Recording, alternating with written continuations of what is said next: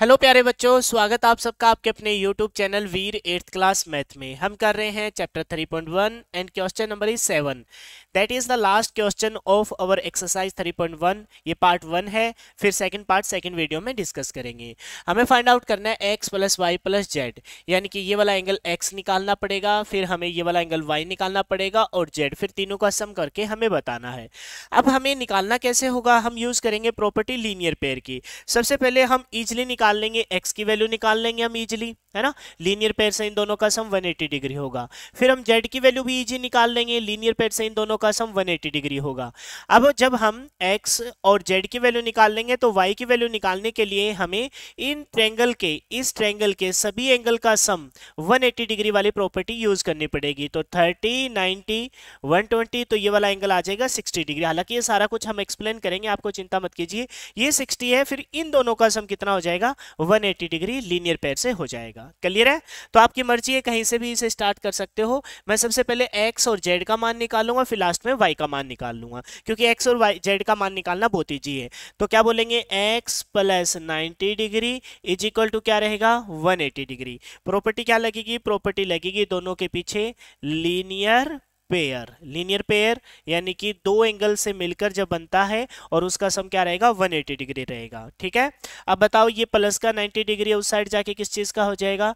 Minus का 90 degree हो जाएगा। तो 180 एटी माइनस नाइनटी तो एक्स की वैल्यू क्या आ गई? एक्स की वैल्यू आ गई आपकी 90 डिग्री। यानी कि पहला एंगल एक्स तो अपना फाइनल हुआ कि एक्स की वैल्यू कितनी आएगी? नाइनटी डिग्री आएगी। क्लियर हो गई बात?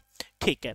अब ये ये वाला हटा दू ना इधर से, आपने नोट तो कर लिया हुआ लीनियर पेयर अब हम निकालते हैं सेकंड एंगल सेकंड एंगल कौन सा निकालेंगे? सेकंड एंगल निकालेंगे हम कौन सा? अपना ये वाला एंगल जो नीचे है लीनियर पेयर से बन है जेड वाला। क्या निकालेंगे? जेड वाला। तो क्या बोलेंगे हम? जेड प्लस थर्टी डिग्री और दोनों क्या है? वन एटी डिग्री के इक्वल होंगे कारण क्या रहेगा? लीनियर पेयर शॉर्ट फॉर्म में लिख दिया मैंने एलपी यानी कि लीनियर पेयर क्लियर है ये बात? अब बताओ, ये जो प्लस का इस साइड जाके किस चीज़ का हो जाएगा? माइनस का। तो Z is equal to one eighty minus thirty degree. Then Z is equal to अपना क्या आ जाएगा? 150 यानी कि टू एंगल्स अपने आ गए कौन कौन से? Angle X and angle Z और दोनों क्या आ गए? एक्स आ गया 90 डिग्री। ये वाला एंगल कितना आ गया? 90 डिग्री, है ना? ये वाला एंगल 90 डिग्री और ये वाला एंगल कितना आ गया? 150 डिग्री। अब हमें वाई की वैल्यू और निकालनी है।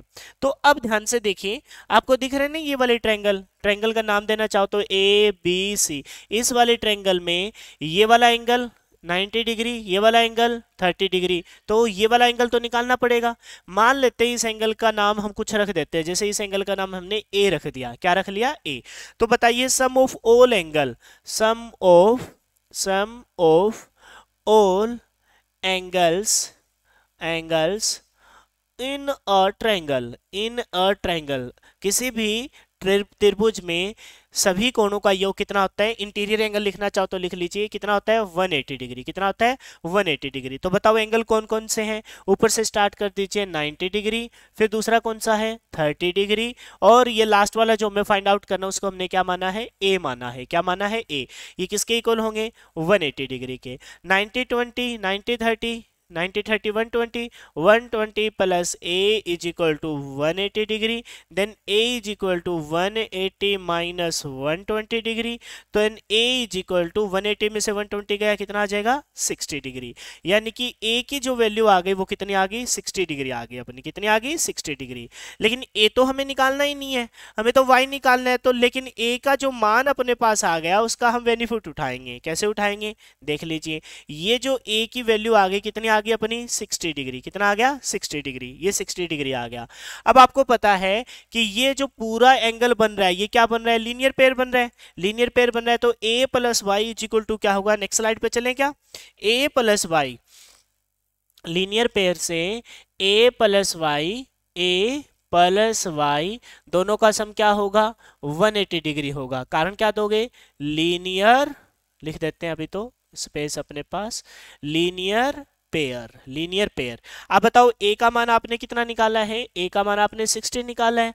वाई का मान निकालना चाहोगे इज़ इक्वल टू 180 तो वाई इज़ इक्वल टू क्या आ जाएगा? 180 eighty minus sixty degree then Y is equal to क्या आ जाएगा? आपका आ जाएगा 120 डिग्री क्या आ जाएगा? 120 डिग्री तो वाई का भी मान आ गया अपने पास। अब हमें फाइनल जो रिज़ल्ट निकालना था, वो निकालना था हमें X plus Y plus Z इसकी वैल्यू हमें फाइंड आउट करनी थी। सबसे पहले एक्स की वैल्यू देखो 90 डिग्री एक्स की वैल्यू क्या है? 90 डिग्री तो एक्स की जगह क्या रखेंगे? 90 डिग्री वाई का मान ये रहा भी निकाला है 120 और जेड का मान हमें पीछे निकाला था। जेड का मान कितना आया था? 150 क्या बोलेंगे? 150 तो इन सबको सम करेंगे। इन सब का क्या करेंगे? सम करेंगे। देखो, या तो आप सीधा ही कर लीजिए 120 और 90 80 जोड़ेंगे तो 200 यानी 210 210 और 310 310 प्लस 50 360 यानी कि सभी एंगल कितने आ गए? सभी एंगल आपके 360 आ गए। और एक बेटा राज की बात बताऊँ, ये अपनी प्रॉपर्टी भी होती है। प्रॉपर्टी क्या होती है? कि किसी आंसर आ चुका, लेकिन एक राज की बात बताता हूँ, कोई भी जब ट्रेंगल आप लेते हो, कोई भी जब आप ट्रेंगल लेते हो, ये मैंने ट्रेंगल ले ली। अब इसके जब आप एक्सटीरियर एंगल आगे की तरफ़ बढ़ाओगे, ये वाला एक्सटीरियर एंगल हो गया, है ना? ये वाला एक्सटीरियर एंगल हो गया, ये वाला बढ़ाओगे तो ये वाला एक्सटीरियर एंगल हो गया, इस साइड को बढ़ाओगे तो ये वाला एक्सटीरियर एंगल हो गया। तीन एक्सटीरियर एंगल ले लिए और तीनों एक्सटीरियर एंगल मान लेते हैं, ये वाला क्या था? एक्स ये वाला क्या है? वाई और ये वाला क्या है? जेड बेटा ये ध्यान रखना, ये एक आइडेंटिटी है कि sum of all exterior angle of a triangle sum of all exterior angle angle 1 angle 2 and angle 3 sum of all exterior angle in a triangle is always equal to 360 degree किसके equal होता है?